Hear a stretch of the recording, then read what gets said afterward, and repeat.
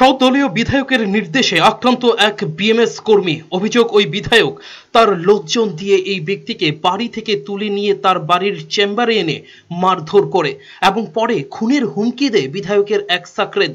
আক্রান্ত ব্যক্তি মামলা দায়ের করেছেন। আক্রান্ত এবং অভিযোগকারীর নাম সুবীর চক্রবর্তী। তার বাড়ি অরুন্ধতী নগর স্কুলের পাশে। সে শাসক দলের শ্রমিক সংগঠন বিএমএস এর কর্মী।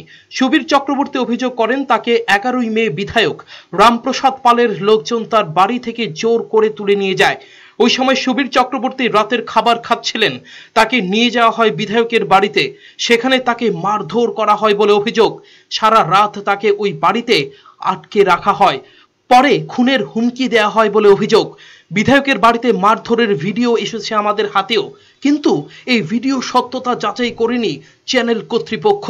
ভিডিওতে দেখা যাচ্ছে, এক যুবককে পেটানো হচ্ছে, যেখানে মারা হচ্ছে সেই বাড়ির দেয়ালে বিজেপি নেতাদের ছবি টাঙ্গানো কিন্তু বিধায়ক রামপ্রসাদ পালকে এই ভিডিওতে দেখা যায়নি।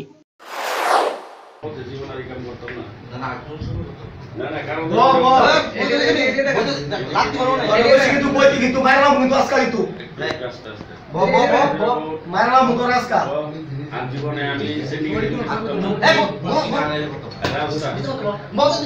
আচ্ছা কানাডারে কো আমার মগ দিয়া মাংস খাইনি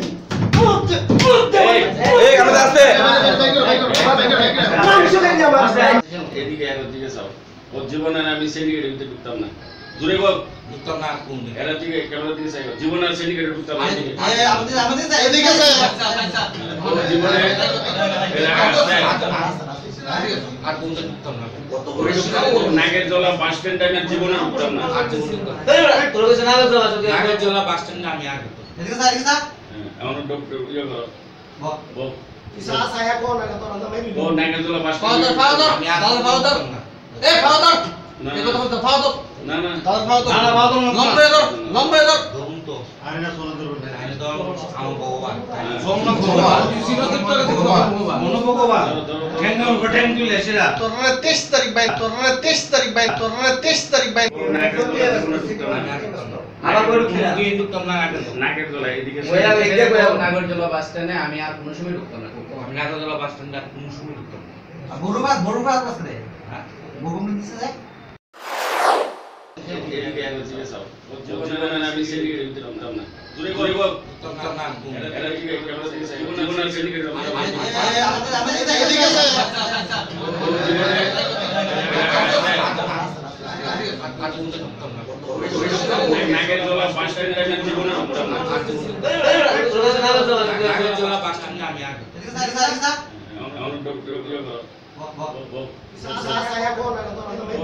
ফাদার ফাদার ঢুকতাম না এ এ ফাদার এই কথা ফাদার না না না লম্বা ধর লম্বা ধর ধরুন তো আমি তো আমার ভগবান ঠ্যাঙ্গা উপর ঠ্যাং তুলে সেরা তোর 23 তারিখ বাই এদিকে অভিযোগকারী সুবীর চক্রবর্তী বৃহস্পতিবার আদালতে এসেছিলেন। তিনি তার উপর সংঘটিত আক্রমণের কথা জানিয়েছেন সংবাদ মাধ্যমকে। প্রাণ নাশের হুমকি দিছিল। আমার এলাকার এই ছেলে কানাই কেন ওনার চেম্বারে নিয়ে আমার মারছিল আর কি অটো চালাই BMS Bharatiya Mukta Sangh affiliated Tripura auto rickshaw Shramik Sangh ওই আমরা বিধায়ক শ্রী রামপ্রসাদ। উনি কি ছিলেন সেখানে হুম। স্পটে ছিলেন যখন আপনার মারে? বিএমএসএস বিএমএস ভারতীয় মজদুর সংঘ ত্রিপুরা অটো রিক্সা শ্রমিক সংঘে কর্মকর্তা। নাকের দাওয়াতে না ঢোকার ইনস্ট্রাকশন দিছে আর এমনিতে মারধর করছে নিয়ে। এই যুব মোর্চার ব্লকে যে আমারে মারধর করছে মারধর করছে চার পাঁচজন তো চার পাঁচজন করছে যে চার পাঁচজনের তো সবাই নাম জানি না এখন তো কানাইতে পেরেছি নি আমি আজকে আপনার এতদিন মানে ভাবছিলাম যেটা হয়েছে হয়েছে শাস্তি গত পরশু দিন আবার আমার কানাই দেবে ওই প্রাণনাশের হুমকি দিছিল। প্রকাশ্য। তো প্রকাশ্য প্রাণনাশের হুমকি দিছে আজগা কোর্টে এসে কারণ পরশু দিন রাত্রেবেলা আমি বাড়িতে ফেরার সময় আমার একটা আলটো গাড়িতে বাড়ি দেওয়া ফালা দিয়ে গেছে। কে? দেখতে পারলে তো কই দিলাম দেখতে পারছি না। সেই কারণে আমার ওই দিনের কথাটা মনে হয়েছে তো তারা ভবিষ্যতে আরও এমন ধরনের স্টেপ নিতে পারে। সেই কারণে আমি আমার নিজের সেফটি লেগে আমি আজকে এইটা করছি আর কি। একদিকে মুখ্যমন্ত্রী নিজে বলছেন যারা সন্ত্রাসী কাজের সঙ্গে যুক্ত থাকবেন তাদের ছাড়া হবে না।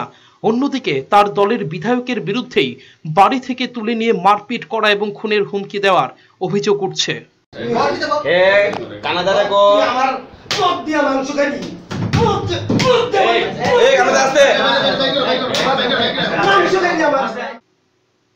রিপোর্ট চ্যানেল তিন রা।